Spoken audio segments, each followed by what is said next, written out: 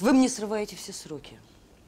Мало того, что вы мне сдаете работу в самый последний момент, так еще и с огромным количеством ошибок. Я все исправлю. Что, что это на вас за одежда?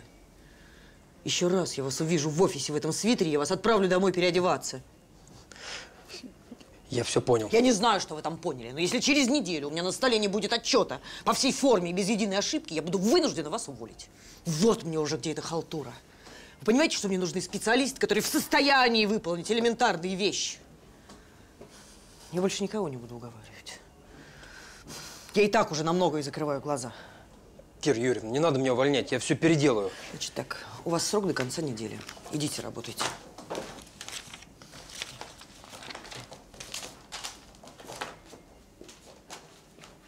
Работайте, Андрей!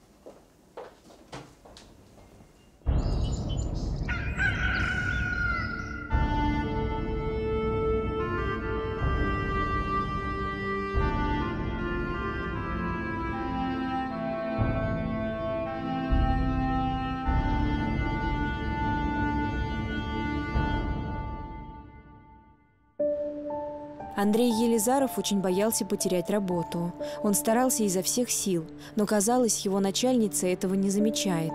Она замучила Андрея придирками и грозила увольнением. Андрей не понимал, что ему делать, чтобы сохранить место. Жена рассказала ему об бабе Нине, и Андрей отправился к нам в деревню за советом. Здравствуйте, бабушка. Здравствуй, Андрей. Садись, не стесняйся. Ага. Рассказывай, что тебя ко мне привело? Я какой-то человек нелепый. Вот все мне не так, как у людей. Я постоянно что-то забываю, путаю, теряю. Потому что в голове у меня всегда какие-то фантазии. Жена моя на это очень сильно сердится, и начальство тоже. Я на работе уже два раза отчет переделал, все равно с ошибками. Боюсь, что меня скоро уволят. Как жить тогда? На что? Жена мне со свету живет. Она и так меня пилит. Дай мне свою правую руку. Вижу, на этой работе ты долго не задержишься. Не твое это дело. Как не мое? Я хорошо учился, всегда работал по специальности. Мне это нравится. Просто я невнимательный. Бабушка, отдайте мне, может, какой-то отвар, чтобы память и внимание нормальными были, а то у меня мысли все в разнобой. Отвар я тебе дам, но работу тебе все равно сменить придется. Тебе с детьми работать нужно. Так ты себя найдешь. С детьми? Нет. Это точно не мое. Я, признаться, их не особо люблю. Да и общий язык я с ними не могу найти. Аня, принеси заговоренные травы.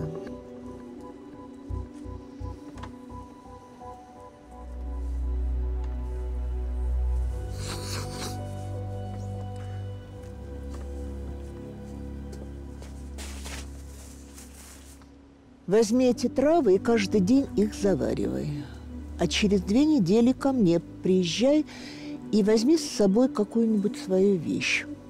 Тогда я тебе скажу, что делать. А пока ступай. Ага. Спасибо, бабушка. До свидания.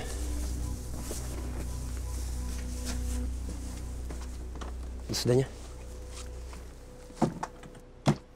Андрей уже три года был женат, но его жена Елена последнее время все чаще была недовольна мужем.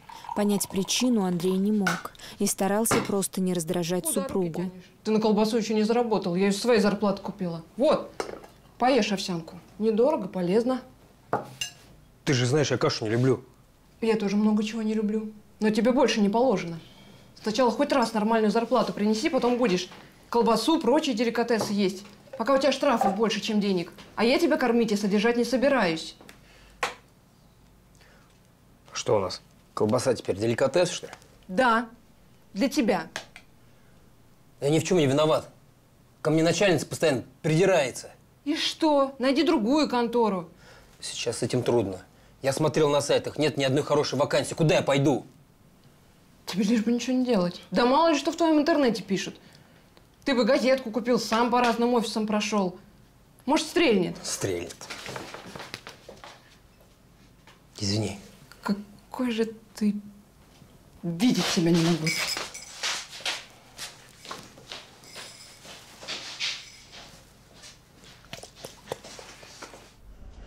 Коллеги по работе почти не замечали Андрея или относились к нему снисходительно. Андрея раньше это огорчало, но потом он смирился и привык. В этот день ему нужна была поддержка и помощь. Я что-то постоянно напутаю, там и напутал, и если я, если я не сделаю, то меня уволит.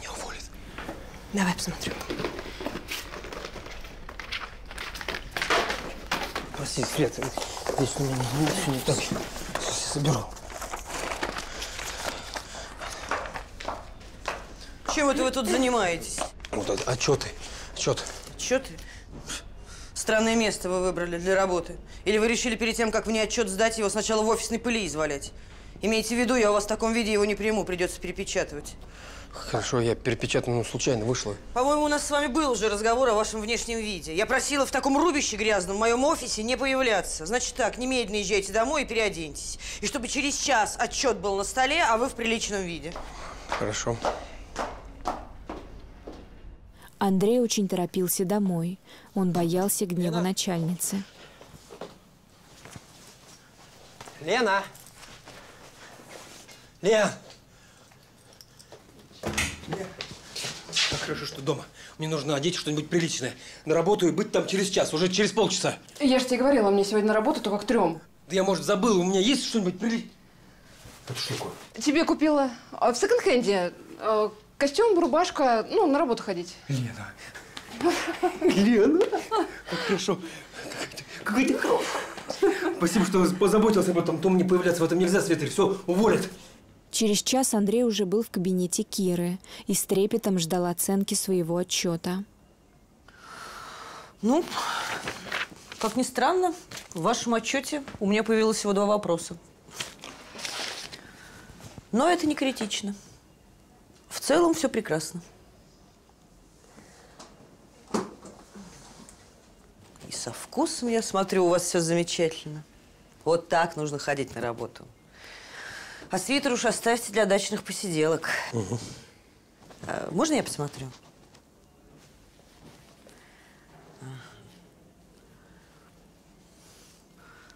А где вы купили такие замечательные вещи? Это очень дорогой бренд. Такой галстук, я думаю, стоит половину вашей зарплаты. Если не больше. Ну, если честно, я в этом не разбираюсь. Жена где-то купила в секонд-хенде. Подделка, наверное. Да, может быть, может быть. Сейчас кругом обман. Даже, казалось, в самых приличных магазинах. Ладно, идите работайте. Я вами очень довольна. Спасибо. Спасибо. Прошло три дня. Начальница больше не придиралась к Андрею и даже при всех похвалила его отчет. Казалось, черная полоса в его жизни закончилась, а вот отношения с женой становились все холоднее. Еще поспать.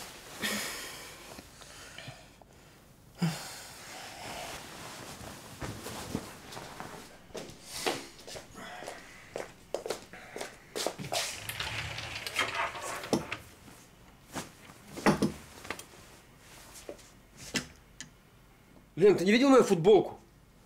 Какую еще футболку? Дай мне поспать. И свитер.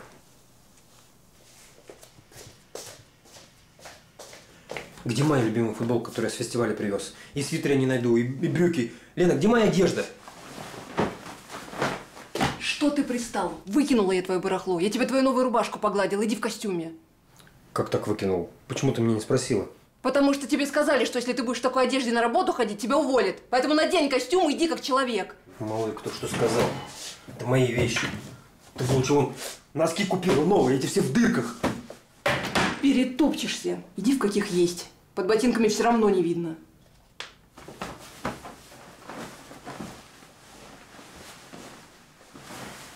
Лен, ну... Ладно, свитер, ну, футболка. Когда я еще попаду на этот фестиваль? Да там таких уже и нет. Переживешь. Иди. Не мешай мне спать.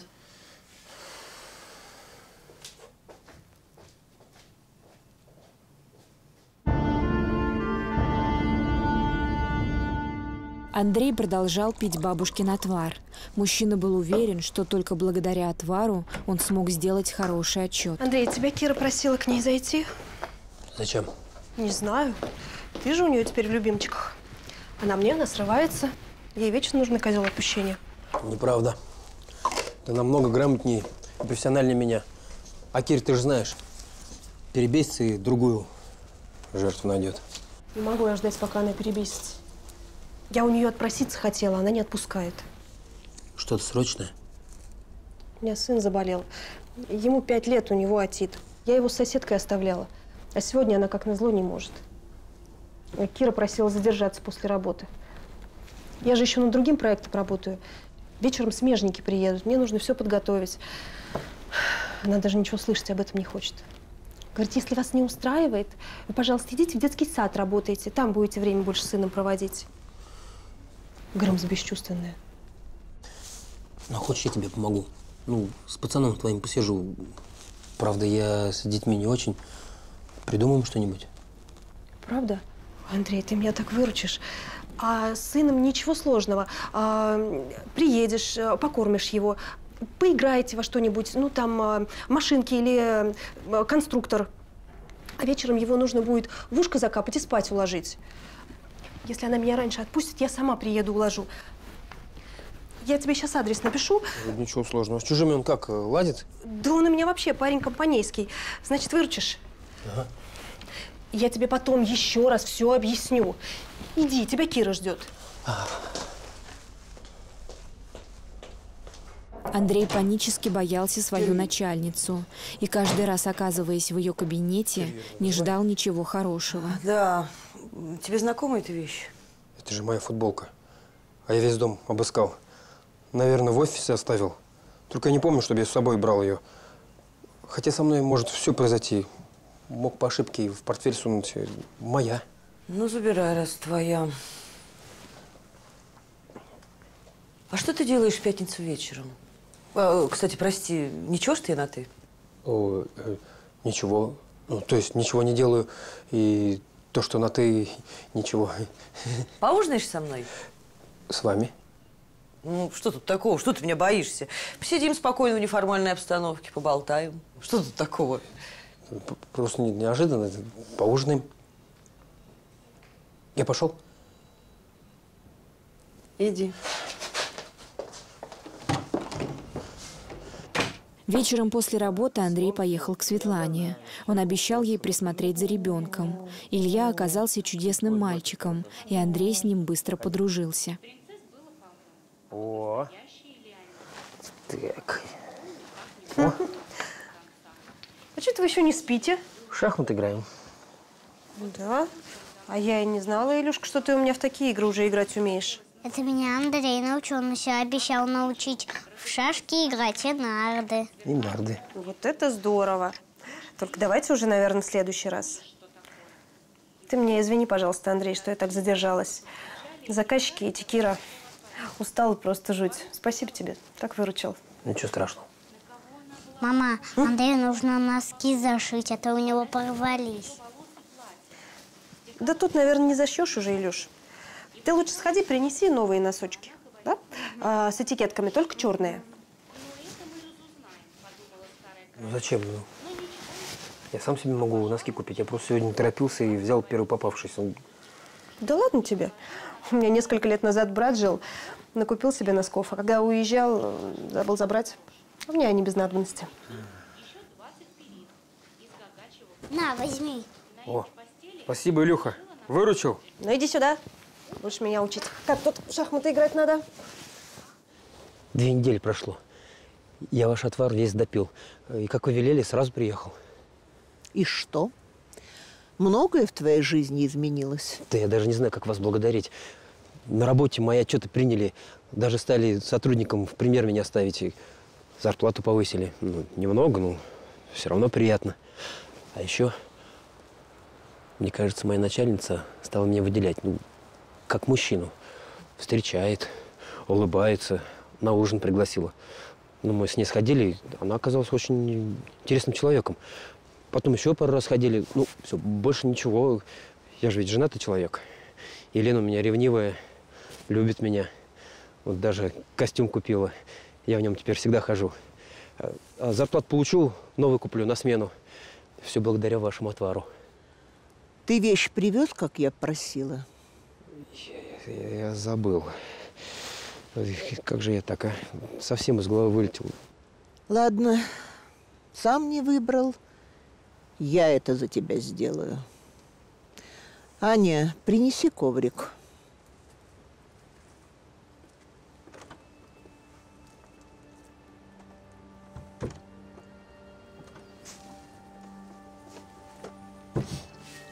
Расстели.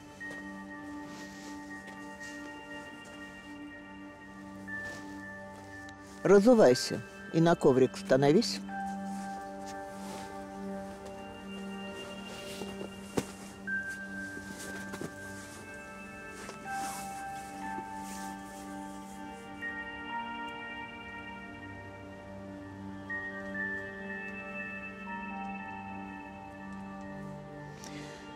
Вижу, женщины тебя обманывают. Но в этом ты сам виноват. Запустил себя, носки рваные носишь. А есть такая примета, если мужчина в рваных носках ходит, женщинам его обмануть легко. А кто обманывает бабушка? Зачем? А это ты сам скоро узнаешь. А когда это случится, то вспомни. Что вспомнить? Вспомни, что ты мужчина, а не тряпка. И на этот раз поступи так, как сердце скажет, а не другим в угоду. Я мягкий человек, но не тряпка. Вот и пора тебе об этом вспомнить. Прошло несколько дней. Андрей за это время очень сблизился со Светой. Еще пару раз он оставался с Ильей. У Светы Андрей чувствовал себя комфортно и уютно, а она старалась помочь ему с работой. Заниматься с ним интересно. А говорил, что не умеешь общий язык с детьми находить. Да я сам в шоке. Я раньше детей боялся, как огня. А по-моему, у тебя просто педагогический талант. Ага. А вот к этой работе у тебя таланта совершенно никакого нет. Ты опять все цифры перепутал. Где? Ну вот, видишь, э, 66, а должно быть 64. Как у тебя так все время получается, не понимаю. Свет, пойди в буфет кофейку попей, мне с Андреем поговорить надо. А так... э, Да, хорошо.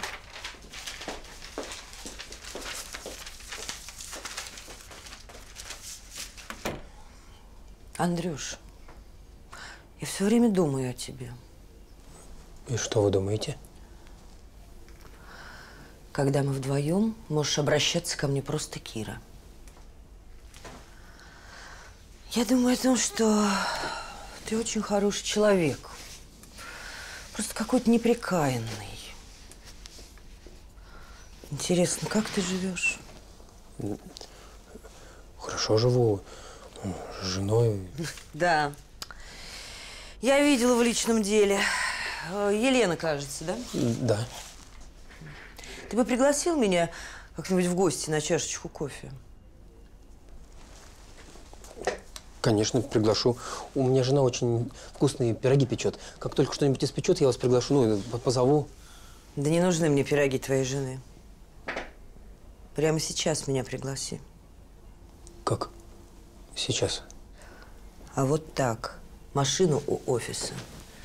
Поехали. Андрей не смог отказать Кире и меньше чем через час оказался в своей квартире.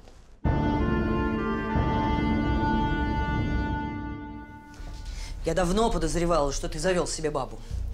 Я хотела даже детектива нанять. Но потом вот он пришел в офис в твоем костюме и твоем галстуке. Галстук я сразу узнала, потому что я сама его покупала в Париже. И он был в единственном экземпляре. Ты же у нас модник, Маратик. Модник. Я спросила, откуда это. И знаешь, что он мне ответил? Что ему жена купила в секонд-хенде. Я чуть в обморок не упала. Ты не знаешь, с каких это пор в наших секонд-хендах эксклюзивные вещи за бесценок продаются. Ну, дальше можете не продолжать. Нет, я продолжу, милочка. А ты лучше закрой рот. Потом моя домработница нашла в твоих вещах страшненькую футболку с надписью «Фестиваль Круг». Не знаешь, откуда у тебя этот хлам? Я показала эту футболку Андрею, и он сказал, что она его. Интересно получается. Когда же это вы успели обменяться вещами? Причем так, что Андрей сам об этом ничего не знает. М? И тут я вспомнила про жену Андрея. То есть про вас, прекрасная Елена. Кира, прекрати этот спектакль. Давай поговорим дома. Нет, Марат, мы закончим этот разговор здесь. Что же ты вы, Елена, с чужими мужьями развлекаетесь, а своего в черном теле держите? Вы посмотрите, он же у вас одет как пугало, вечно в дырявых носках и весь какой-то дерганый. Нет, вы мне можете ничего не отвечать. А ты, Маратик, посмотри внимательно на Андрея. Через пару лет в руках этой женщины ты будешь выглядеть так же, если не хуже. Кирочка, ну прости, без попутал. Не подходи ко мне. Счастливо оставаться.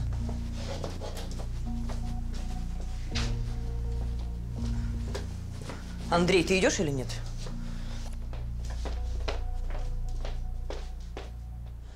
Да я даже и не думал, что у моей жены есть любовник. А самое удивительное, что им оказался муж моей начальницы Киры. Теперь понятно, почему у нее возник ко мне интерес. Ну и ты вспомнил?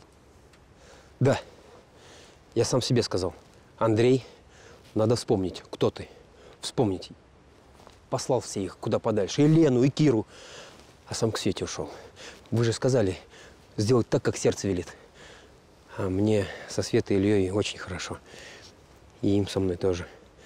Правда, на следующий день после этого скандала я был уволен. Кира меня позвала к себе и сказала, что пусть ты ни в чем не виноват, но видеть тебя после этого мне не хочется. А я и рад. Я найду работу. А жить мне теперь намного легче. Вижу, все у тебя хорошо будет. Женщина, что рядом с тобой, тебе судьбой назначена. Я с ней по-настоящему счастлив. Она заботится обо мне, ухаживает. Я не думал, что такие женщины бывают.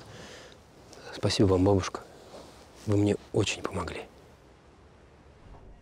Через два дня Андрею позвонила Кира и попросила приехать в офис. Добрый. Андрей, я хочу предложить тебе работу. Да нет, нет, нет, не в этом офисе, не переживай. Я давно уже уложила деньги в один детский центр, но что-то там как-то не очень ладится. И я хотела предложить тебе стать управляющим директором этого центра. Я? Управляющий? Света сказала мне, что у тебя педагогический дар, а я склонна доверять Свете. Действительно, э, дети ко мне тянутся, и мне с ними интересно, но Ну, теперь я не жалею, что поручила Светлане повнимательней к тебе присмотреться. Спасибо вам, Кира Юрьевна. Вы знаете, если бы не вы, мы бы, наверное, с Андреем никогда не стали так близки. Ну, Я за вас искренне рада. То есть и тут без вас не обошлось? Не было бы счастья, да несчастье помогло. Ну так что, ты возглавишь мой центр? С удовольствием. Андрей развелся с Еленой и женился на Свете. Он руководит детским центром и очень счастлив. Год спустя Света родила от него девочку. Ее назвали Ниной. Илья очень любит сестру. Бабушка говорит, что если мужчина в рваных носках ходит, женщины его легко обмануть могут.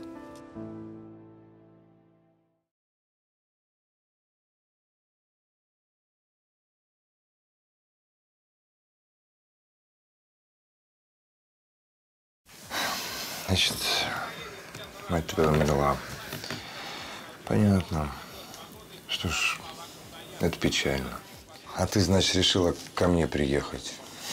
Что ж, я не против, даже рад. Ну, это как жена решит.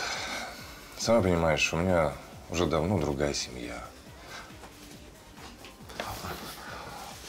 Альбиночка, ко мне вот дочь Саранска приехала Лиза. Э, Это супруга моя Альбина. У Лизы мать умерла, и она хочет в Москве работу найти. И просит первое время пожить у нас. Но это если ты не, воз- не возражаешь, разумеется. Дармоедки мне здесь не нужны. Но я могу сдать ей комнату. У тебя деньги есть? Да, конечно, немного, но есть. Сейчас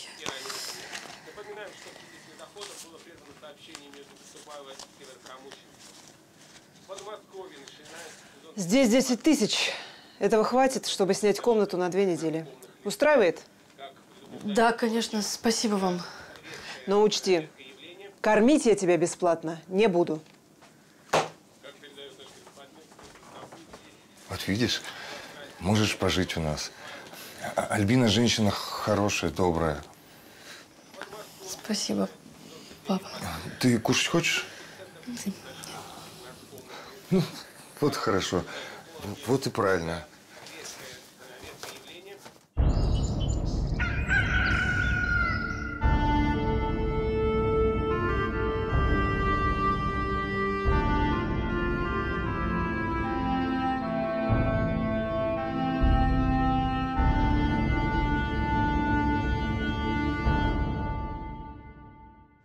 Лизы Яковлевой недавно умерла мать. Девушка осталась совершенно одна. В родном Саранске ее ничего не держало. И Лиза решила поискать счастье в столице. Там у нее жил отец. Но его жена сразу не взлюбила девушку.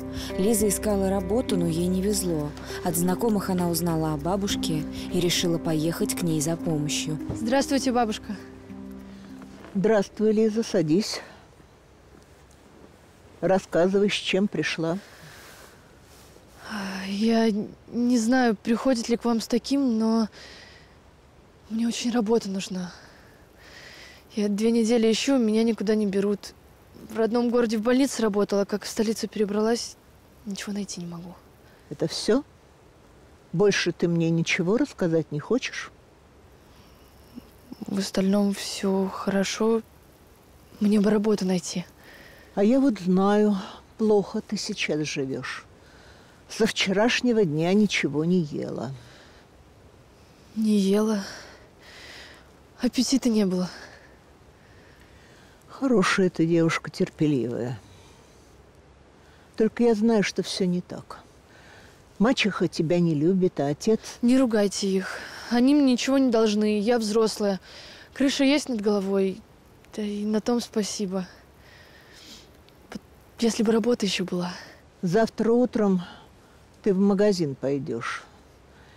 И по пути домой кафе будет. Зайди туда, там работу найдешь.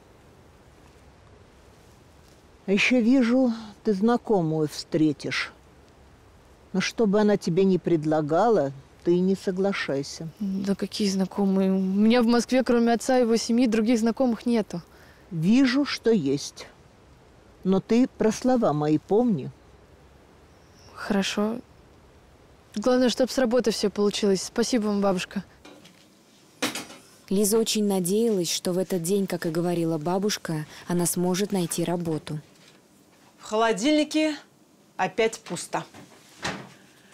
Ты у нас в доме всю еду сожрала? Я ничего не брала. Мам, я хотела бутики. А у нас нет ничего, ни сыра, ни масла. Надо в магазин идти. Вон пусть эта дармоедка и сходит. Все равно ничего не делает целыми днями. Ты когда на работу выйдешь? Скоро должна. А Она все время так говорит, врушка. Мам, напиши ей список, она все купит. А чеки и сдачу принесет. Значит так, пойдешь в магазин, «Березка» называется. Он тут в трех остановках от нас. Там самые низкие цены. Другие магазины мы себе позволить не можем. Хорошо, я съезжу. Съездишь? Пешком дойдешь. Тут всего идти-то полчаса. Еще на дорогу тебе тратится. Ничего, не барыня. Донесешь.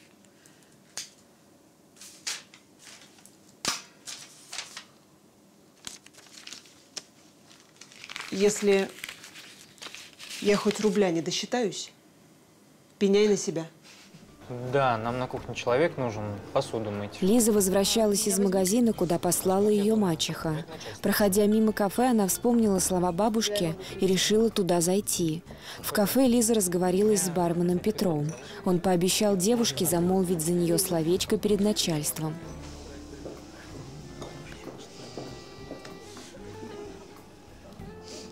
Лиска! Рита, вот это да. Не ожидала в этих краях землячку встретить. Ничего себе. Давно ты здесь? Да нет, недавно переехала. Ой, ну правильно, нечего там делать у нас в Саранске. Здесь красота, да?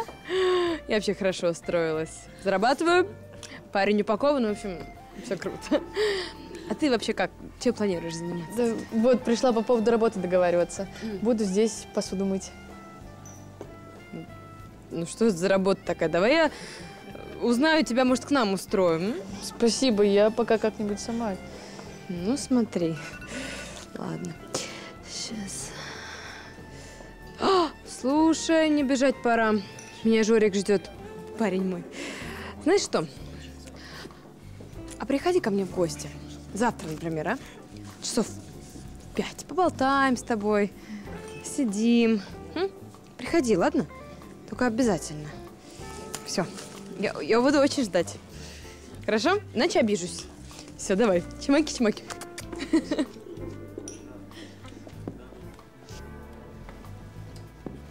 Сменщик пришел, я сейчас переоденусь и пойдем. Пете сразу понравился Лизе, да и она ему тоже приглянулась. До дома они шли не торопясь, им не хотелось расставаться. Вообще-то я в институте учусь, экономистом буду, а пока что без денег не сидеть, в кафе подрабатываю. Да, я тоже хотела после школы в институт поступать, но на бюджет не прочла, и вот закончила медицинский колледж. Ну, у тебя еще все впереди, поступишь. Вот мы пришли. Спасибо, что помог, а то я бы до вечера эти сумки тащила. Пожалуйста, завтра не опаздывай. Я позвоню управляющему и расскажу про тебя. Лиска, а ты где ходишь? Тебя в магазин послали, а ты с парнями гуляешь, да? Петя, мы с Лизой... А, это- Мне не интересно ни эта заморашка, ни ее знакомые. Это твоя родственница? Это сводная сестра. Она не всегда такая, просто сегодня настроение плохое. Знаю я таких. Ладно, ты не грусти, завтра тебя ждем.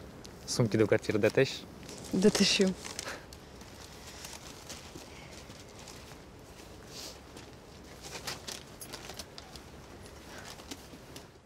Вечером Лизе позвонил Петя и сказал, что управляющий готов принять ее на работу. Спасибо, пап, я не голодна. У меня хорошие новости.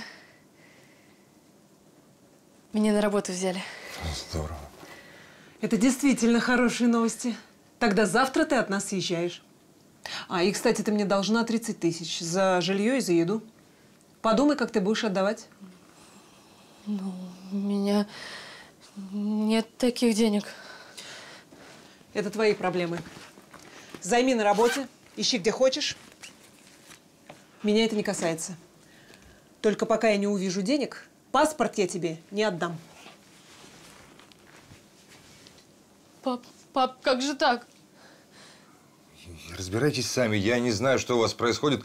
Но будет лучше, если ты действительно от нас съедешь. Неужели у тебя нет знакомых? Я, конечно, не против, я за, но Аля...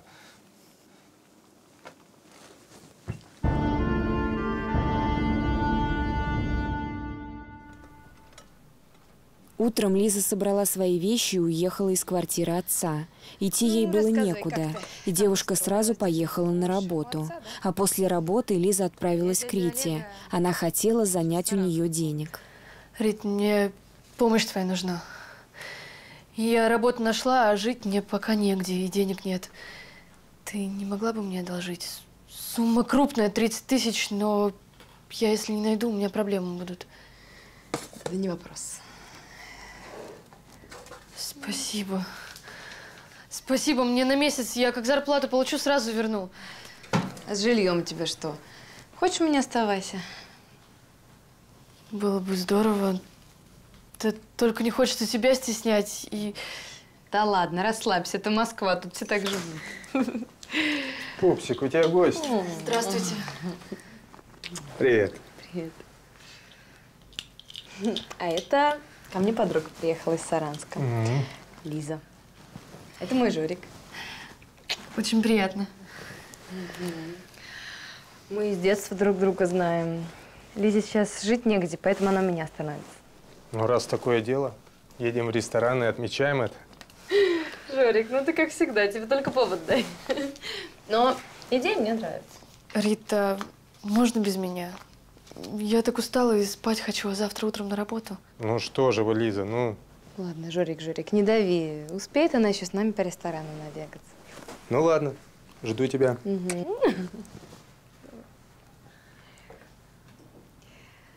Ладно, ты ложись спать, мне не жди, я буду поздно. Все, давай.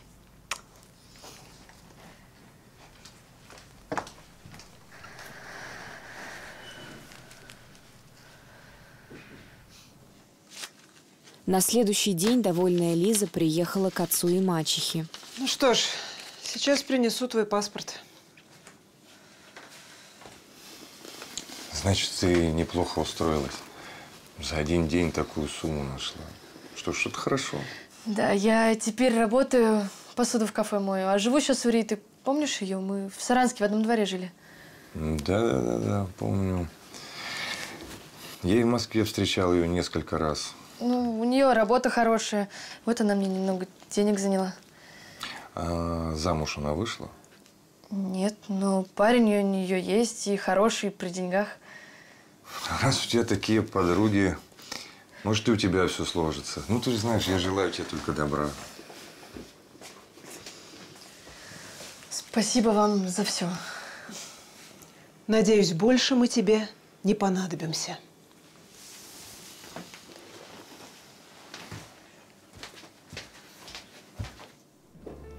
Прошло две недели. Все это время Лиза жила у Риты. Девушки прекрасно ладили, и Лиза считала Риту своей лучшей подругой. У нас серьезные неприятности. На Жорика наехали. Очень крутые дяди из-за бизнеса. Требуют деньги. Много денег. Если не заплатим, его убьют. Какой ужас. И что теперь делать? Ну, ты можешь нам помочь, конечно, если захочешь. Я сделаю все, что от меня зависит. Только что я могу? Все тогда. После работы не задерживайся, дома поговорим. Все, чмоки-чмоки.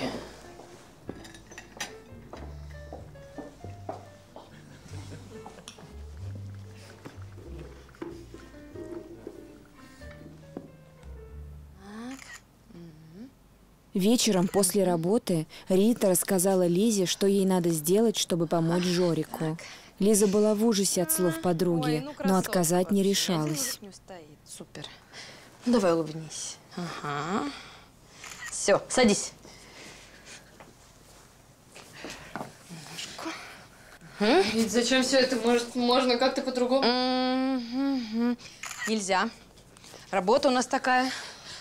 Жорик находит девушек для богатых клиентов. Клиент выбирает девушку. Устраивает с ней встречу. Девушка приезжает. Вообще работа очень легкая. Платит очень хорошо. Правда, сейчас на Жорика конкуренты наехали и требуют откат заплатить. Поэтому ты у нас пока без оплаты. Просто еще ни разу с мужчиной не была. Да ладно, ты девочка. Вот это да. Ну так тем более, чего реветь. Ну, если за твой первый раз только бабок отвалят. Потом Жорик с людьми рассчитается, и будешь сама на себя работать. Я так сама начинала. Я не смогу. Слушай, нас всех убьют тогда. И Жорика, и меня, и тебя. Эти дяди шутить вообще не будут. Я серьезно говорю. Тоже мне подруга. Пообещала, сама в кусты, да? Я все для тебя сделала. Так, хватит реветь, тушь потечет. Ну. Мгм. Так, ну что такое, а? Больше секса. Давай. Угу. Оп. Все, о, отлично, готово, все. Как клиент появится, я тебе сообщу, что надо делать и куда надо ехать. Я сейчас у своей знакомой из Саранска живу. У Риты. Она хорошая, но если бы я только знала, чем она зарабатывает. Рита мне помогла. Она к себе пустила и денег одолжила. И сейчас она в беде, я не могу ее бросить. Но сделать то, что она просит, я тоже не могу. Рита хочет, чтобы я с мужчинами за деньги спала. В том, что случилось, ты сама виновата. Не послушала меня. Ну что же мне теперь делать? Я не могу.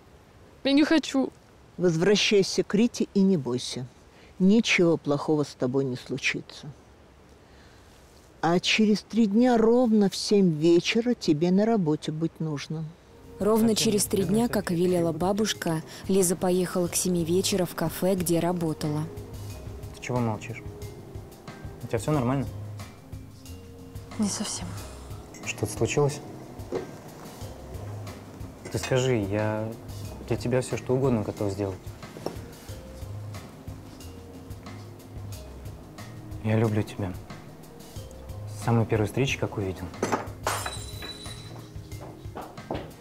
Вы что здесь устроили, бездельники? В кафе пусто. Они тут пирожные за мой счет трескают. Извините, я сейчас А с тобой, Петя, у меня отдельный разговор будет. Где посетители?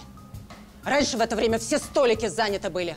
А как эта посудомойка пришла, ты только и делаешь, что целыми днями кофе с ней распиваешь. Ну, это неправда. Я даже разбираться не хочу. Ты уволена. Собирайся и уходи. И платить я тебе не буду. Так нельзя! Я здесь решаю, что можно, а что нельзя. Ты, кстати, здесь тоже больше не работаешь. И никто не работает. Я закрываю кафе. Меня с работы уволили.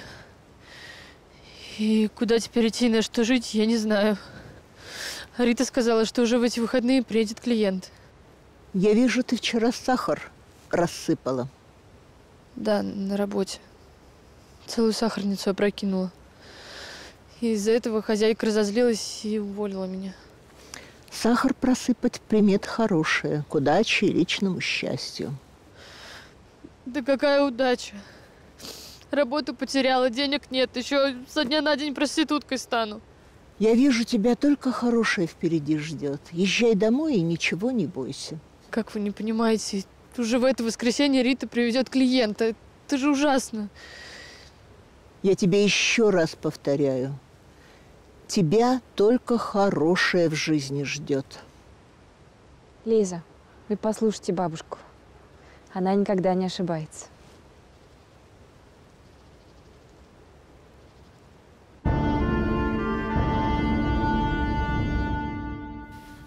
Лиза с ужасом ждала воскресенья. В этот день, как сказала ей Рита, к Лизе должен был прийти первый клиент. Увидев в квартире Риты свою сводную сестру Настю, Лиза пришла в ужас. Настя, уходи, пока не поздно, тебе это не нужно. Вот еще. Мне тоже деньги нужны. Проходите, проходите, дорогой гость. Я вам такой сюрприз подготовила. Ах ты моя затейница. Ой, вот они, мои девчата. Две, как договаривались. Ну, как? Тебе нравится? Папа, а ты что здесь делаешь? А я вам расскажу. Ваш отец сутенер. Я когда приехала в Москву, я здесь никого не знала. Тоже искала работу. Как и ты, Лиза. Тут я встретила дядю Олега, и он очень проникся историей девочки из провинции. Даже обещался помочь устроиться, но с одним условием, что, что я стану его любовницей. Я согласилась. Мне же нужно было как-то в Москве зацепиться. Мы встречались какое-то время, а потом он сказал, что у него большие проблемы, что он задолжал крупную сумму каким-то крутым ребятам. И чтобы они простили ему долг, я должна была с ними переспать. Знакомая история, Лиза? Закрой свой рот. Нет, нет, нет, нет, Рита, продолжай, продолжай. Я согласилась. И потом еще раз. И так и не заметила, как я стала проституткой. Он, конечно, хорошо платил. Но я понимала, что надо завязывать.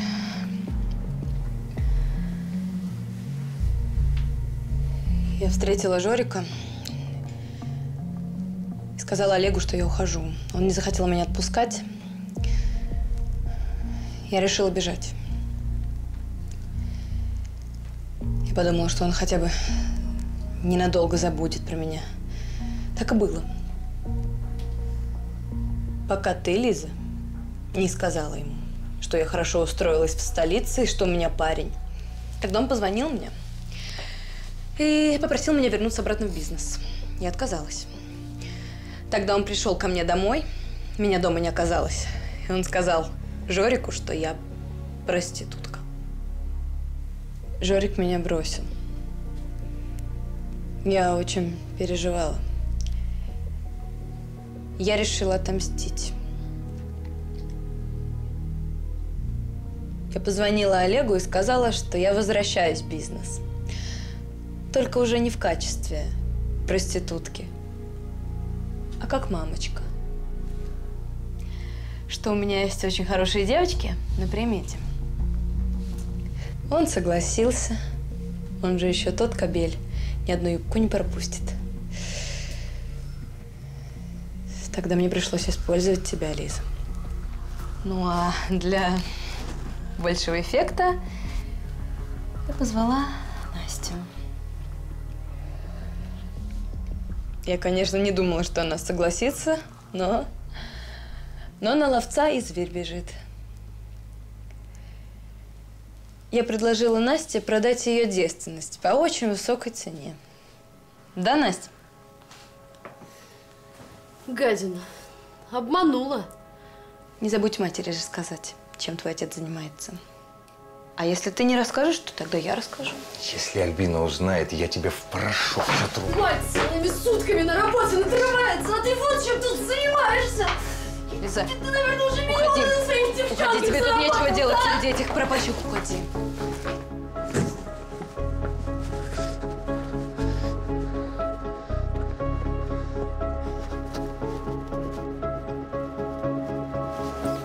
Как ты здесь? Час назад мне позвонила Рита, сказала, что ты здесь, и у тебя серьезные неприятности. Я все бросил сразу сюда.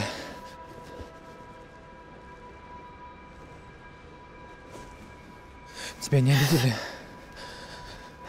Пойдем ко мне. Я тебя больше не отпущу никуда. Лиза и Петя с того дня больше не расставались. Через год Петя закончил учиться и вместе с Лизой переехал к матери в Тулу. Они поженились и сейчас ждут ребенка. Отца и сестру Лиза больше не видела, а вот с Ритой Лиза продолжает дружить. Жорик простил Риту и даже сделал ей предложение.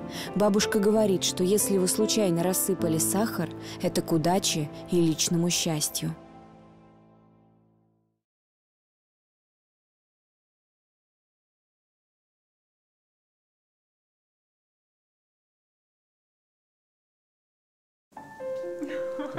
Раньше времени не открывай. Подожди, подожди. Ой, я постараюсь. Сейчас, сейчас, сейчас, сейчас, сейчас, сейчас. М, как приятно пахнет. Что это? Сейчас все увидишь. Готово? Мгм. Открывай. Ого! Тебе нравится?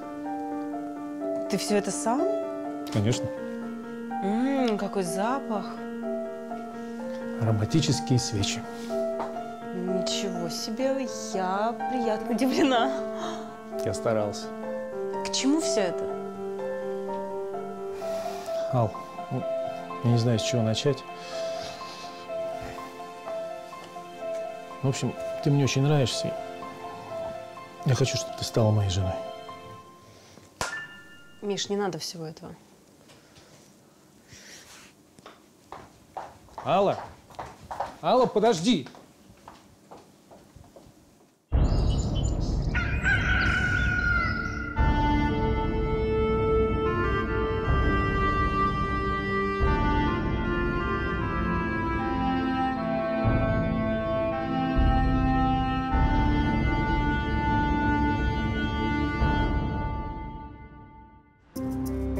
Михаил был обеспеченным и успешным мужчиной. После смерти жены он долгое время жил один, пока не познакомился с Аллой. Михаил сразу влюбился. У них с Аллой завязались отношения. и Михаил хотел второй раз жениться. Он сделал предложение Алле и получил отказ. Михаил не понимал, в чем причина, и за советом отправился к бабушке. Алла просто убежала. Она потом, конечно, извинилась, сказала, что это нервы, она очень волновалась. Но когда мы поговорили, она сказала, что со свадьбы хочет подождать. Но я-то думал, что у нас все серьезно, что она меня тоже любит. Но я ничего не понимаю. Но, может быть, ее разница в возрасте смущает. Я намного старше ее, и, может, она из-за этого за меня замуж не хочет. Ты фотографию этой девушки привез? Да, конечно. Вот. Красивая она у тебя. И вижу, не боится разницы в возрасте. Ну, а тогда в чем дело? Тайна у нее есть. Я думал, она все про себя мне рассказала. Что-то утаила. А что именно, можете сказать? Пока не вижу. Вижу, вы порознь живете, поэтому все тебе про твою Аллу разглядеть не могу. Я ей предлагал съехаться, но она не может. Ей от меня до работы на другой конец города ехать. Она в магазине продавцом работает. Ну, уходить оттуда ни в какую не хочет. Я тебе вот какой совет дам. Если хочешь про свою Аллу правду узнать, ты с ней должен под одной крышей жить. Пусть к тебе переезжает, тогда правда откроется. Так я же говорю, далеко от меня до работы. Ничего, придумай что-нибудь. Иначе так и будешь сомнениями терзаться. Ну, я постараюсь. Спасибо за совет. До свидания.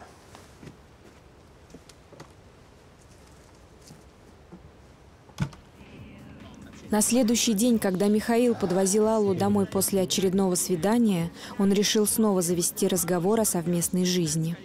Хорошо погуляли, да? Да. Когда в следующий раз встретимся? Ну, можно завтра. Я работаю в первую смену, а вечером свободна. Послушай, Алла, тебе не надоело? Ну что, мы как школьники погуляли и разбежались по домам после 11. Ну, переезжай ко мне. Мы ведь с тобой это обсуждали.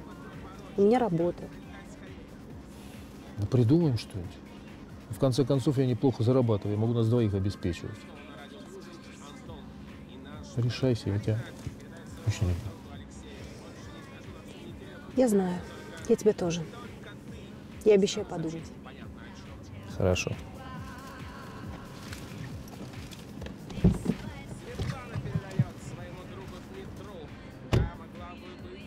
Прошло две недели. Михаил снова и снова предлагал Алле жить вместе. В конце концов, девушка приняла предложение Михаила и переехала к нему. Работу Алла пока не бросила, так как должна была отработать две недели перед увольнением. Просто ужас, как не хочется от тебя уходить. Надолго ли это? Ну, что ты имеешь в виду? Ты ко мне привыкнешь, нас захлестнет бытовуха, и страсть улетучится. Этого не будет. Ладно, собирайся, а то опоздаешь.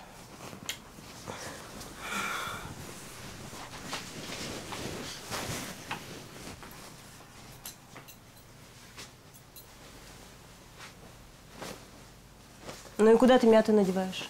Ну, они у меня все такие. Давай я поглажу. Да ладно, опаздывай. Ну, конечно. По две рубашки на одной вешалке. Вот они у тебя и мнутся. Ну, забываю я вешалки купить себе. Ничего, я этим займусь. Вот-вот, я только за. Прошло еще две недели. Алла, как и обещала, уволилась с работы.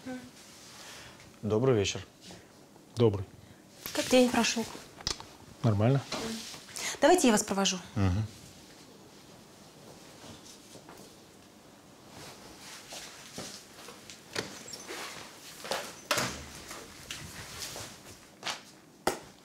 А, кто это был?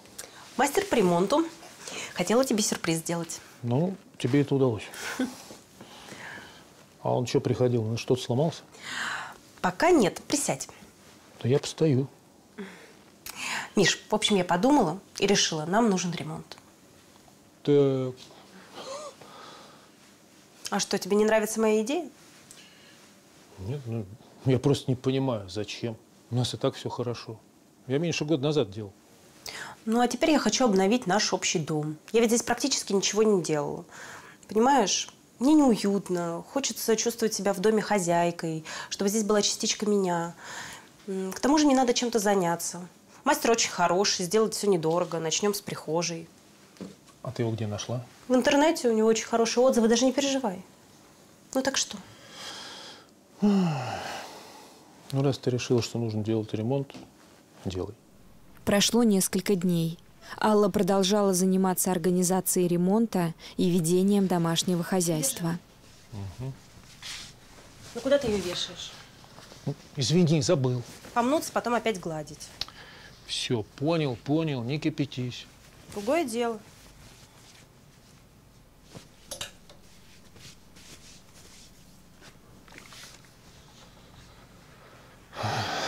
Ал, а у нас все хорошо? Ты какая-то нервная последние дни. Я не знаю, Миш. Наверное, это все из-за работы. Так ты уволилась. В том-то и дело. Ты что, работать хочешь? Я не могу весь день сидеть дома. Я хочу открыть свой магазин с одеждой. Из Китая заказывать и у нас перепродавать. А так все сейчас делают. В торговле я кое-что понимаю. И когда я в магазине работала, я вычислила, на что наибольший спрос. Ну что, хорошая идея. Да. И я уже нашла помещение под шоурум. И с собственником в аренде договорилась. Хоть завтра заезжай, торгуй. ИП у меня есть. Мне нужны только деньги на товар, на аренду. И я хотела оформить кредит, но мне его не дали. Так, стоп. Какой кредит? Даже не думай, я дам деньги. Ты уверен? Конечно. Чем смогу, помогу. В продажах, в организационных моментах я неплохо разбираюсь. Миш, спасибо. А я раскручусь, я тоже буду деньги в семейный бюджет приносить. Я не могу просто так на шее сидеть, понимаешь? Ты у меня умница. Прошло несколько дней. В тот день к Михаилу приехал его сын Илья. Он жил в другом городе, но несколько раз в год навещал отца. К тому же у него часто были командировки, и Илья останавливался у Михаила. Как я рад, что ты приехал. Надолго в город? Да проездом на пару недель. Может, на дольше, если командировка затянется. Ну, а что не позвонил, не предупредил? Э, телефон сел, прости. А у тебя ремонт? Ну, вот, решил прихожую обновить. У меня для тебя, кстати, тоже есть сюрприз. Да? Какой? Алла, У тебя гости? живем вместе. Ничего пришел? себе. Добрый день. Здрасте. Познакомься. Мой сын Илья. Очень приятно. А это моя будущая жена, Алла. Ну и сколько вам лет, девушка? Илья, У меня уже ужин готов. Пойду накрою. ты что творишь? Просто интересно. Тем же вечером, пока Алла мыла посуду после совместного ужина, у Михаила состоялся неприятный разговор с сыном. Дурачка-то не строй. Все твои колкости по поводу возраста Аллы, дерзкие вопросы. Что это все значит? Пап, ты, конечно, только не обижайся, но мне кажется, она не для тебя. Ну, это не тебе решать. Кто она вообще такая? Вы знакомы пару месяцев, ты уже ремонт затеял. Решили делать, значит, надо.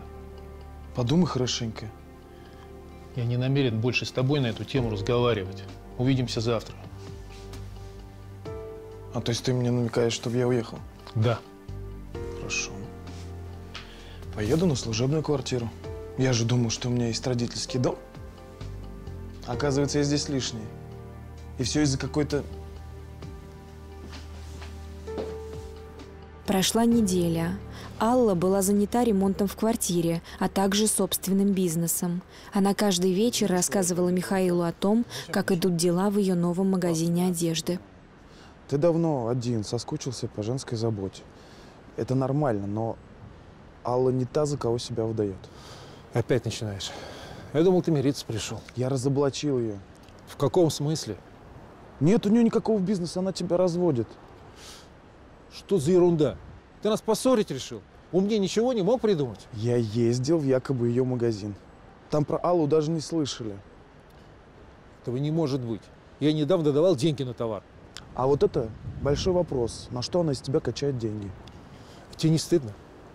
Мне? Тебе, тебе. Ну, я, конечно, понимаю, ты меня ревнуешь. Ну вот как вот можно так нагло на человека наговаривать? Так ты сам съезди, проверь. И не подумаю, у меня и так дел хватает. Пап, ты дурак? Чего? Я тебе сейчас покажу, кто дурак. Делай ты чего хочешь.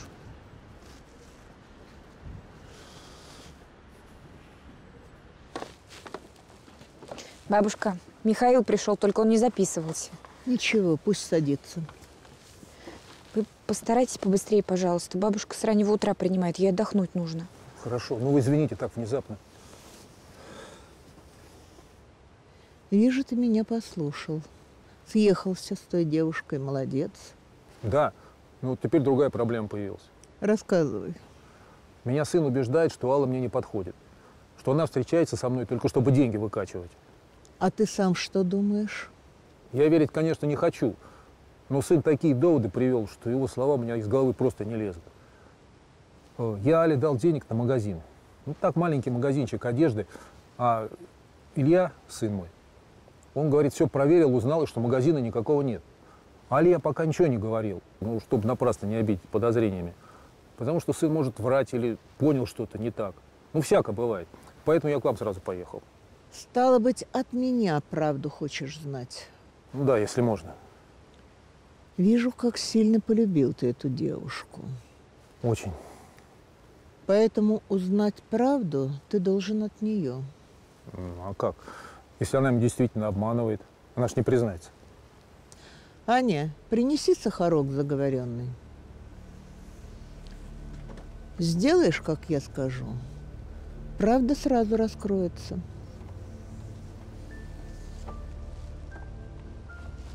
Вот принесла. Спасибо. Это сахарок, правда, сказ. Возьми один. Ну и что с ним делать? В чай его своей Алле положи. Да расспроси обо всем, что тебя волнует. Тогда скажет она правду. Ничего себе. Спасибо. Вы, наверное, устали уже. Я пойду. До свидания.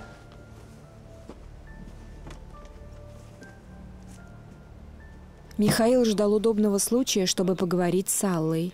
Он, как и советовала бабушка, решил напоить Аллу чаем с заговоренным сахаром.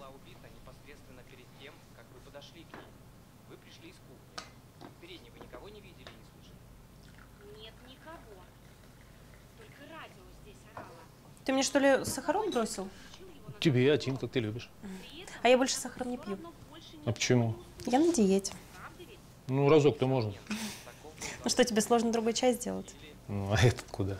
Ну, сам выпей. Что ты как маленький? Михаилу не удалось напоить Аллу чаем с бабушкиным сахаром. Несмотря на это, Михаил не мог больше ждать и решил немедленно выяснить отношения. Алла, послушай, нам надо поговорить. Что-то случилось? Случилось. Илья был у тебя в магазине. И что? Говорит, что про тебя там даже никто не слышал. Я ему сразу не понравилась, ты же сам знаешь. Скажи, это правда, что у тебя нет магазина?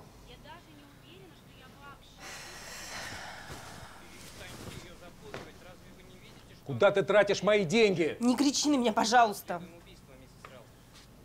Ты объясни, что происходит. Или мне самому съездить и во всем разобраться? Я действительно хотела открыть магазин, и я даже обо всем договорилась. Но тут мне позвонила подруга, и она... И? Она попросила очень крупную сумму денег. И у нее какая-то у нее какая-то ситуация сложная, у нее беда, понимаешь? Дальше. Но я не смогла отказать, я ей дала эти деньги. А, а тебя побоялась сказать. И ты все время меня спрашивал, как у тебя дела в магазине. Я сказала, что все в порядке. Ну ладно, ладно, ну все хорошо, ну послушай. Ну, надо было просто мне сразу все рассказать. Ну я что, не человек, не понял бы. Моя подруга, она порядочная. Она как только разберется со своими делами, она мне вернет деньги. Ну ладно, ладно, все хорошо. Успокойся, все нормально.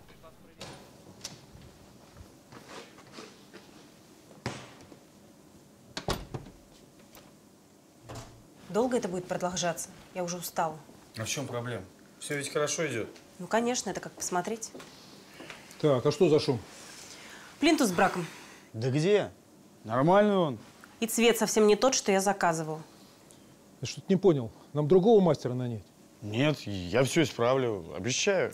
Ладно, вы свободны. Я вам завтра позвоню. До свидания.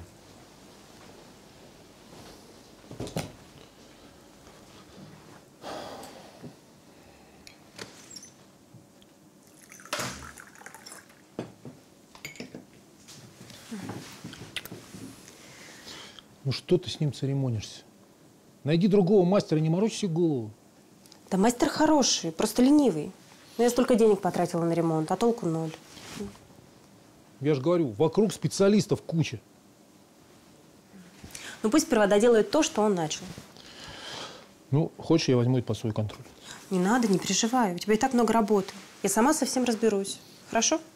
Как хочешь. Расскажи лучше, как твой день прошел? Ай, ужасно по тебе скучал.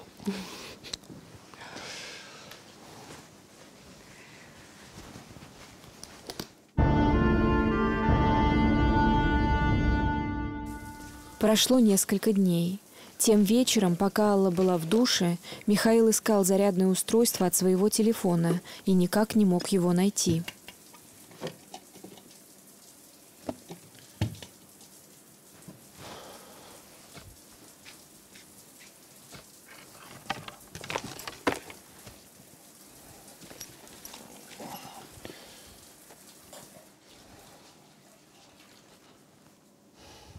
Михаил случайно уронил сумочку Аллы и с удивлением обнаружил там паспорт Аллы со штампом о браке. Михаил не понимал, что происходит. Ну что? До сих пор не нашел? Зарядку нет. Обнаружил кое-что поинтересней. Что это такое? Зачем ты рылся в моих вещах? Алла, ты что, замужем? Я жду ответа. Да, у меня есть муж. Кто? Почему ты сейчас здесь, а не с ним? Мой муж – это наш мастер по ремонту. Ты не перестаешь меня удивлять. Что вообще происходит? Миш, пожалуйста, ты только не злись. Ну, Что, мне радоваться? Все деньги, которые ты мне давал, я отдавала мужу Диме.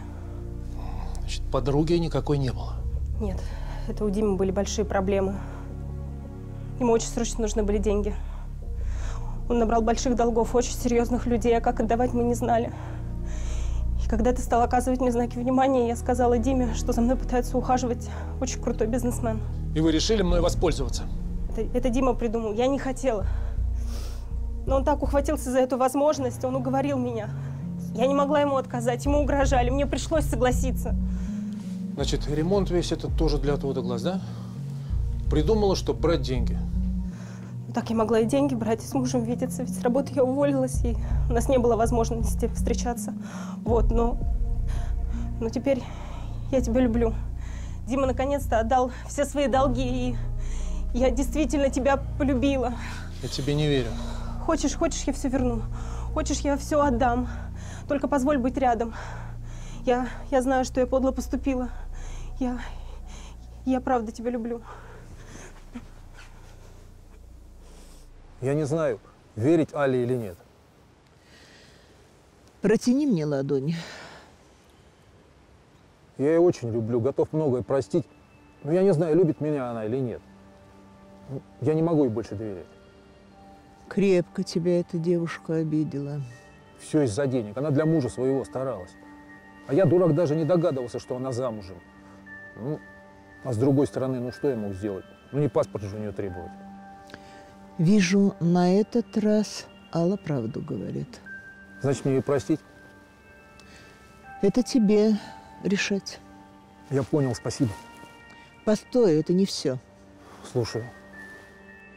Еще я увидела, что ты дома рубашки одну на другую вешаешь. Но это давно было, до того, как с Аллой сошелся. Теперь так не делаю. Вот и хорошо.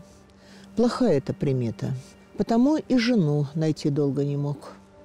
Значит, когда Алла стала приучать меня к новому порядку, она все исправила? Верно. Я потому сразу тебе всю правду про нее и не рассказала, чтобы раньше времени вы не рассорились. Значит, у нас теперь все хорошо должно быть. Правильно. А теперь ступай. Вижу, больше не свидимся. Спасибо. Большое спасибо.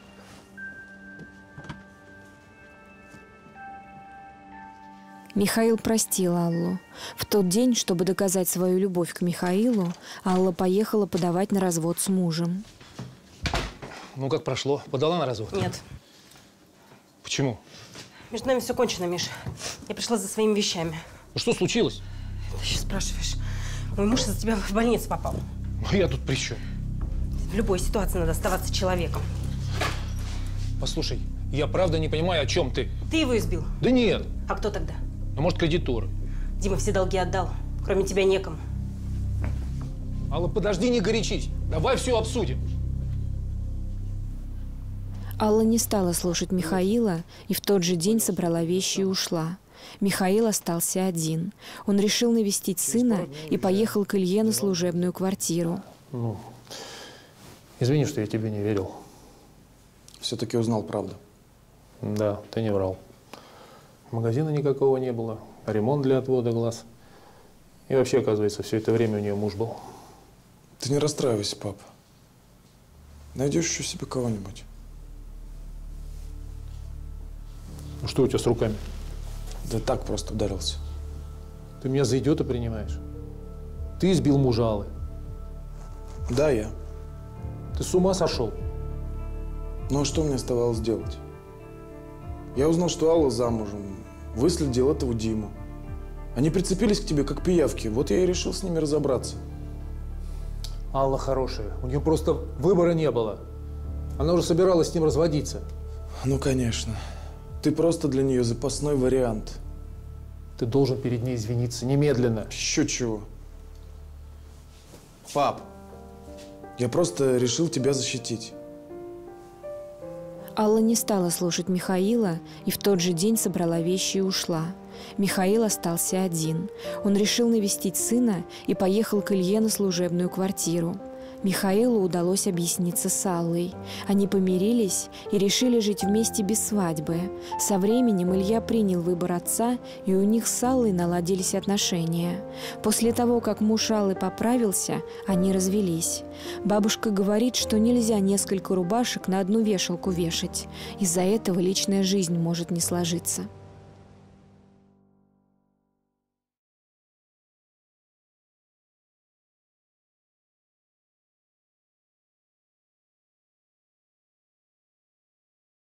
Мишу я покормила.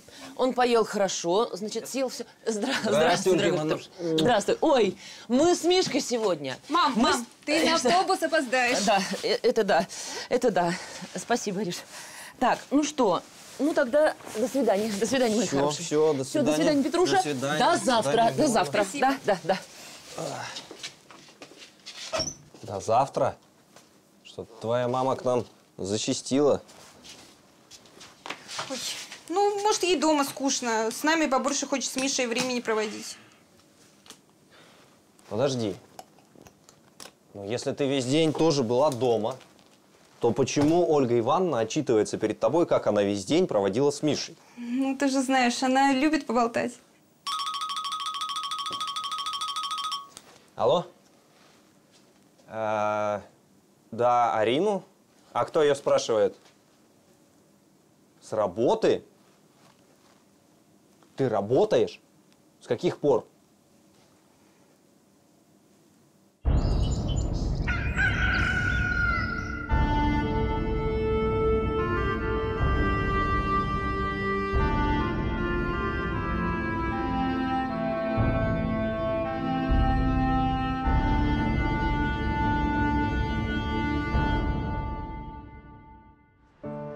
Арина была замужем за Петром и растила сына Мишу.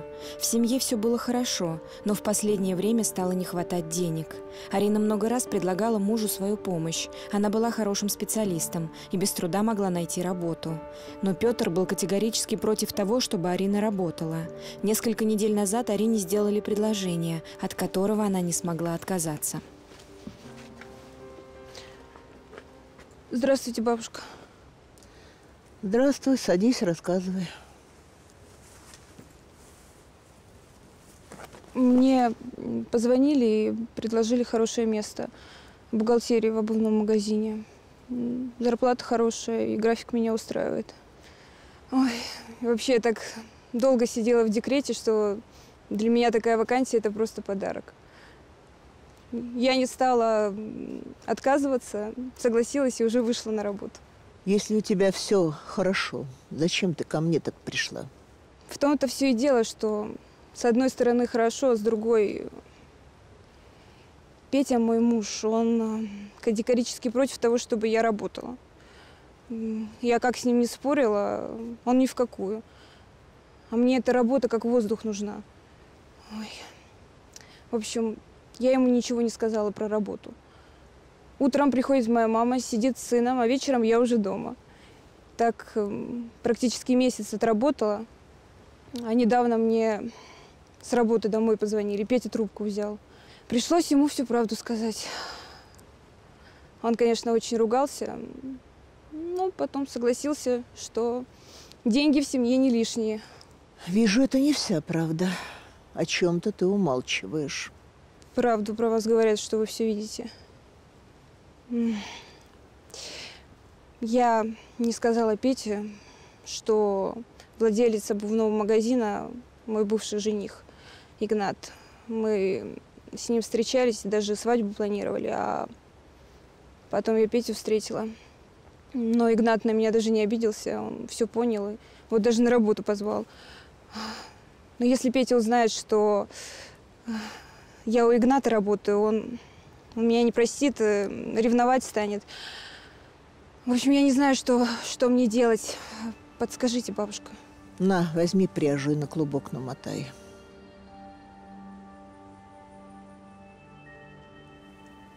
Довольно. А теперь мне дай.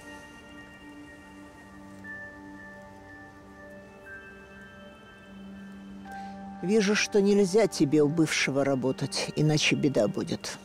Как, как так?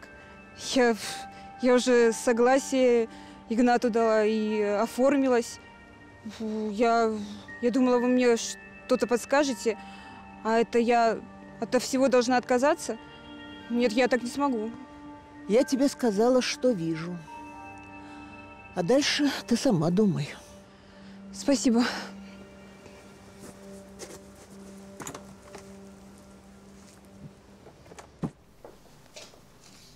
Арина была разочарована визитом к бабушке.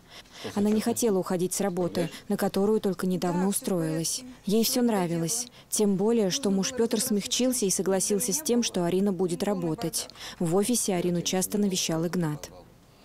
Слушай, а что зашел-то? Я хотел предложить тебе отпраздновать твою первую зарплату. Ты же у нас уже целый месяц работаешь. Игнат, думаю, это лишнее. Ты знаешь, я ведь очень переживал, когда ты меня бросила. Потом смирился. Теперь снова тебя увидел, и чувства вернулись. Игнат, ты ставишь меня в неудобное положение. Прости. Ты замужем, а я просто твой начальник. Ладно, работай, не буду мешать. Арине стало неловко. Она была уверена, что их с Игнатом связывают только рабочие отношения. Но после его признания Арина не знала, как себя вести. Выходные Арина и Петр проводили дома. Сына Мишу Ольга Ивановна забрала к себе, поэтому у родителей появилась возможность побыть вдвоем.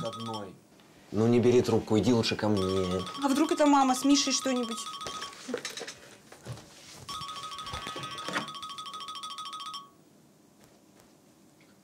Кто звонил? Чего ты не ответила? Неизвестный номер. Ерунда какая-то. Ну тогда иди ко мне. На самом деле Арине звонил Игнат. Она не стала при Петре отвечать на звонок, чтобы не вызывать у мужа ненужных подозрений. Все обошлось, но Арина очень волновалась. Прошло две недели. Игнат сдержал свое слово и больше не говорил Арине о своих чувствах. Между ним и Ариной установились дружеские отношения, и Арину это устраивало. Как забыл? Мы же договаривались. Угу. За мной никто не заедет. Муж все еще на работе. Ну, мое предложение в силе. Давай подвезу. Ну, видишь, уже вон темнеет, одной на улице опасно, а я подвезу прямо до дома. Ну хорошо, я воспользуюсь твоим предложением. А ты чего раскисла-то? Кто тебя расстроил? Да никто. Просто месяц выдался тяжелым, все как-то разом навалилось, ну ты знаешь. Да, знаю. А помнишь нашу первую поездку за границу? Помню. Ты возил меня в Италию. Это было потрясающе. Одно из самых лучших воспоминаний в моей жизни. Да, и в моей. Игнат, не надо. Арин, Арин, подожди, Арин! Арине очень была нужна эта работа, но навязчивые ухаживания Игната все усложняли и ставили под угрозу ее семейную жизнь. На следующий день Арина первым делом написала заявление об уходе. Она понимала, что увольнение – единственный выход сохранить семью. Доброе утро. Доброе. Я как раз к тебе собиралась. Я должна сообщить тебе одну очень важную вещь. У тебя есть минутка? Я не знаю, что ты хотела мне сообщить, но позволь мне быть первым. У меня потрясающая новость. Что за новость? По итогам твоей работы я принял решение переложить на тебя еще ряд обязанностей. Другими словами, я предлагаю тебе повышение по службе. Ну, как тебе такая новость? Что скажешь? Я вижу, ты удивлена. Я удивлена. Я не уверена, что справлюсь. Да ну ерунда какая. Ты отличный специалист. Я в тебя верю. Да и секретарше я уже сказал, чтобы она принесла на подпись мне приказ о назначении вас, Арина Вячеславовна, на должность генерального директора одного из моих магазинов. Ну, зарплата будет соответствовать занимаемой должности. Вырастет в три раза. Ну, что скажешь? Ну, ну. Это, это так неожиданно. Арина была удивлена предложению Игната.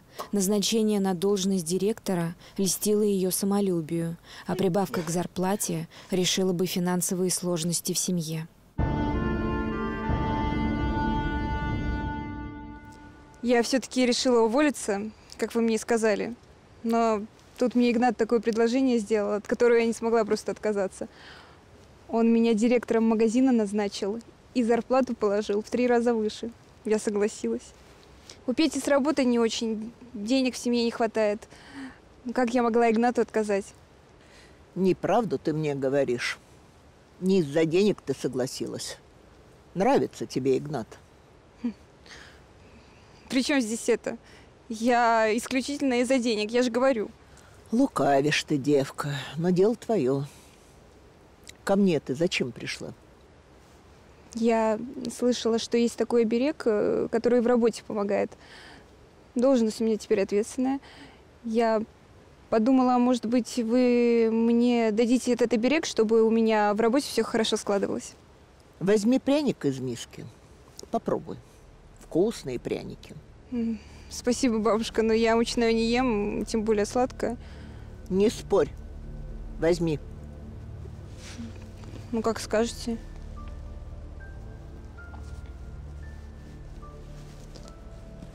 А теперь положи свой пряник на стол.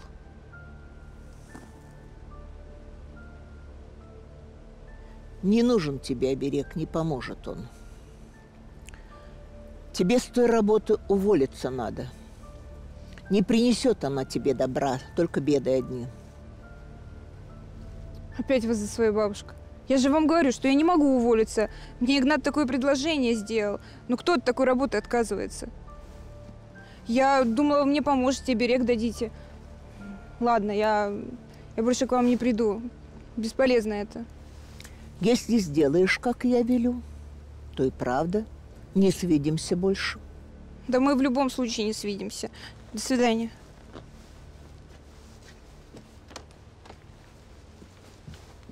Прошло две недели. Карьерный взлет и внимание обходительного Игната вскружили голову Арине. В результате настойчивых ухаживаний Игната Арина сдалась. Между бывшими возлюбленными вновь возникла близость. Что будет с нами дальше, Игнат? Я могу тебе сказать, что будет дальше.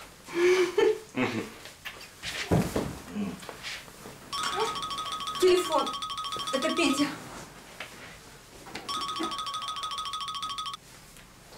Да, Петь? Привет. А ты когда домой? Мы тут жуть как скучаем без тебя. А, ну, сейчас с бумагами закончу и приеду. Ты стала в последнее время сильно задерживаться. Поговори ты со своим начальством, но это не дело. Ну, хорошо, я поговорю. Ну, все, мне пора бежать. Угу. Целую, пока. Скоро буду.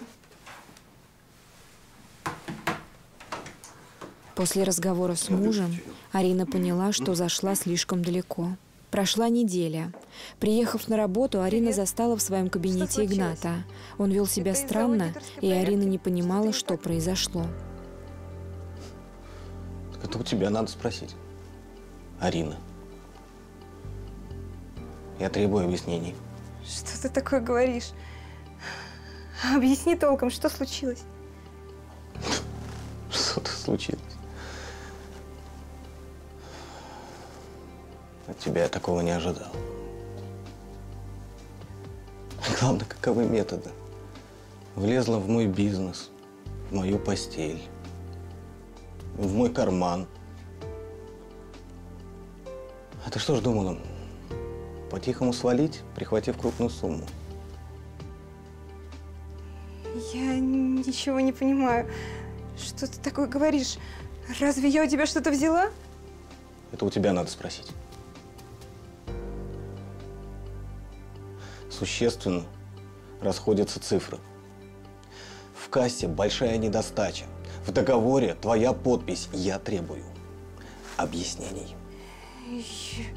Я к этому не имею никакого отношения. Это, это какая-то ошибка. Нужно все перепроверить, и я уверена, что все будет в порядке. Игнат, ты же меня знаешь. В том-то и дело, что нет. Я рискнул.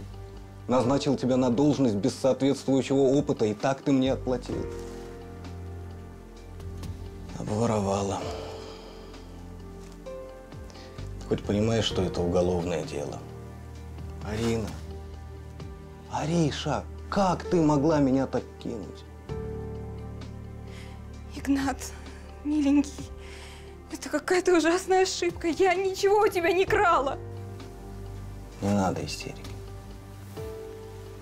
Не надо. Убирайся.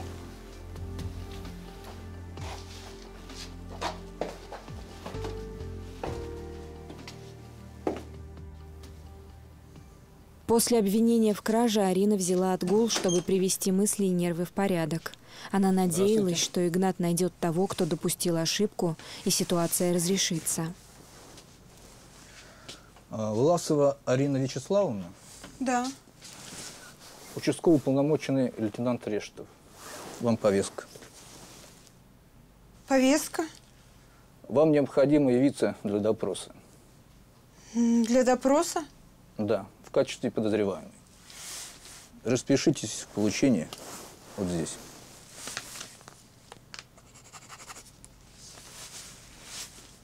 До свидания. До свидания.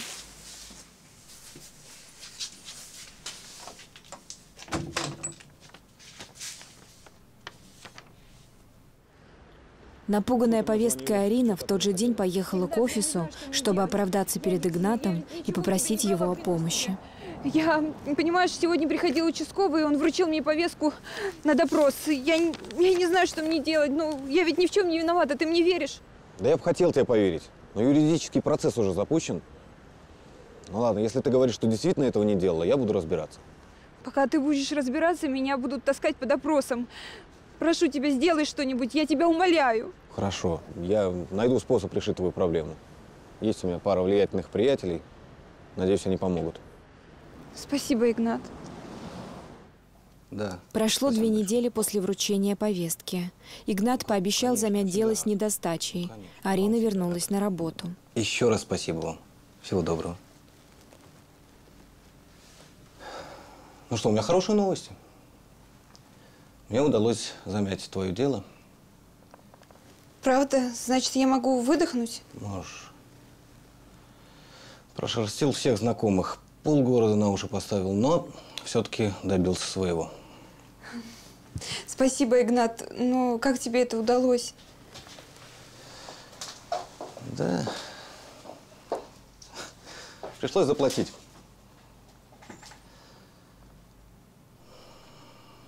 Чтобы замять это дело и тебя отмазать, пришлось выложить солидную сумму. Я продал загородный дом, чтобы уладить некоторые шероховатости. Ну, крупную сумму из бизнеса вывести сложно. Пришлось пожертвовать собственной недвижимостью. Получается, из-за меня ты остался без дома? Ну, это ж такие жизненные мелочи, Ариш. Разве мог я позволить женщине, которую люблю, любоваться небом в клеточку?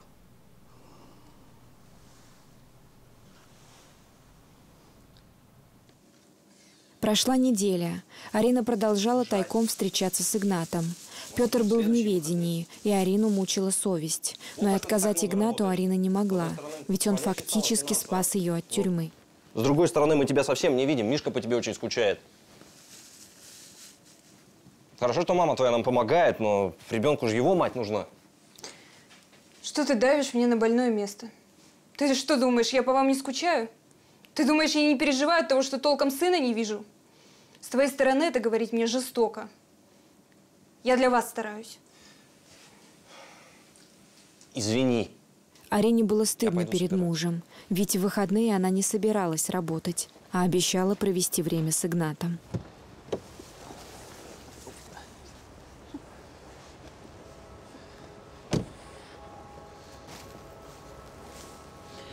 Давай не здесь, вдруг Миша рядом гуляет.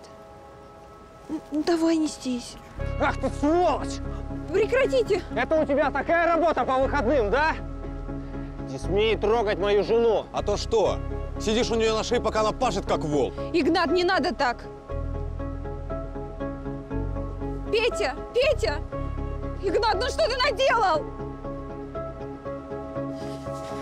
Петя, это не то, чем кажется. Правда? То есть ты не спала со своим бывшим, это просто случайность. Он просто мимо проезжал, да? Я работаю у Игната, он предложил, я согласилась. Я же видела, как тебе тяжело, хотела помочь деньгами. И потом, если бы я сказала, ты бы стал меня ревновать. Игнат помог мне выбраться из одной очень непростой ситуации. И что же это за ситуация такая? Петя, у меня были проблемы, меня могли посадить в тюрьму. В договоре обнаружилась ошибка, и на меня завели уголовное дело. И если бы не Игнат... Да святой Игнат, спасибо ему! Петя... Мишу я заберу. Ему не место рядом с такой матерью, как ты.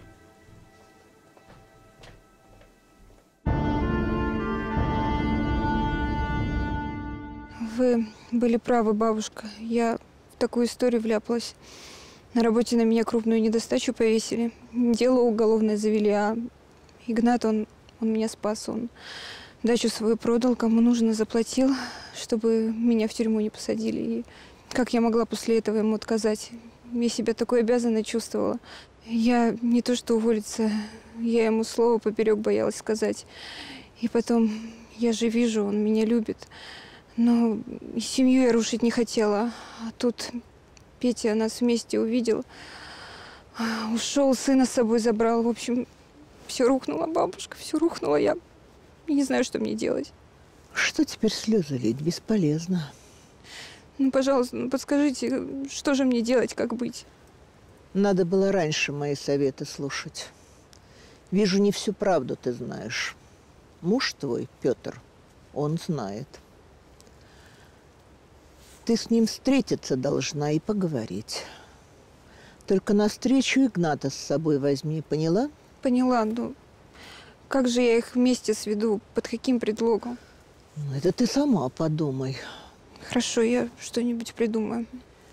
И вот еще что. Вижу, ты дома в мужской майке ходишь, вроде как в мужниной.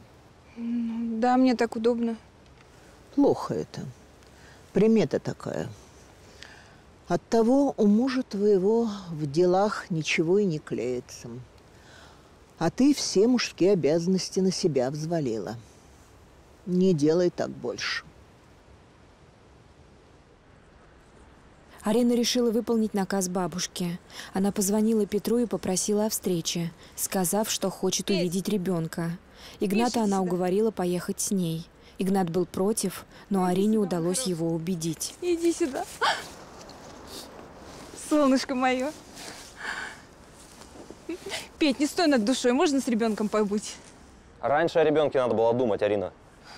Ну, тебе только дубинки не хватает, вылитый тюремщик. Миш, иди поиграй. Держи, держи, иди, иди, иди скорее, иди поиграй. Кстати, я тут подумал, что-то тут не сходится насчет всего этого уголовного дела. Что ты имеешь в виду? А то, что все это подстава, Ариша. Да, Игнат? Что это значит? Это значит, что перед тобой не прекрасный избавитель, а враль. Ну, может быть, Игнат тебе лучше обо всем этом расскажет. Это правда, Игнат? Я... Я тебе верила, я... Как ты мог со мной так поступить? Я сражался за твое внимание как мог. На войне все средства хороши, как говорится. Это был блеф, ты в него поверил. Ну смотри, как все вышло. Мы с тобой вместе. Как ты это все провернул? А подпись на документах это что, э, подделка? Почему подделка? Договор ты сама подписала. Я тебе его подмахнул, когда у тебя был завал с документами. Ну, а дальше проверка якобы выявила недостачу. И тут влюбленный рыцарь бросился спасать свою красавицу-принцессу. И значит, дом ты не продавал. Знаешь, я все пыталась вспомнить, почему я тебя тогда бросила. А теперь поняла. Ты самовлюбленный, самодовольный хлыщ, и меня тошнит от тебя. Петр простил Арину. Они помирились, решив начать все сначала. Арина вспомнила, за что полюбила когда-то Петра. Он был добрым и искренним человеком, неспособным на обман и предательство. Арина больше не носит дома вещи мужа. У Петра с работой все наладилось. Он достаточно зарабатывает. Помните, если женщина дома вещи мужа носит, то все мужские заботы ложатся на женские плечи, а у мужчины дела не идут. Примета такая.